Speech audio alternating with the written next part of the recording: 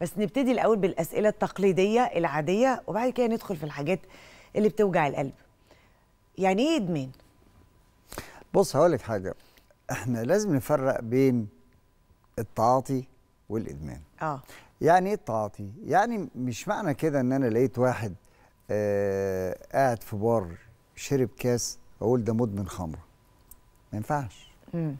واحد شرب سيجارة حشيش مرة أقول ده مدمن حشيش. تمام.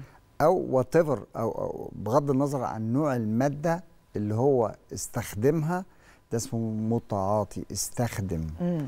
ما أقدرش أوصفه أو أحط عليه ختم كلمة مدمن. تمام. ما ينفعش. دي أول حاجة. يعني المتعاطي حاجة بياخدها بشكل استثنائي كل فين وفين أو ايا كان غير المدمن. الإدمان له مظاهر. هي دي بقى. قواعد آه. عشان أوصف واحد أو أختم عليه بكلمة مدمن. خلي بالك كلمة مدمن دي غير مقبولة اجتماعيا في الدول في الدول أمال المفروض الشرقية. نقول إيه طيب؟ مش لا اللفظ نفسه مش م... المرض نفسه غير مقبول اجتماعيا. قصده مرض. آه. غير مقبول اجتماعيا. مم. آه غير بره. يعني هنا مش مقبول هو موجود لكن غير مقبول اجتماعيا. ما ما حدش يحب يسمعه كتير.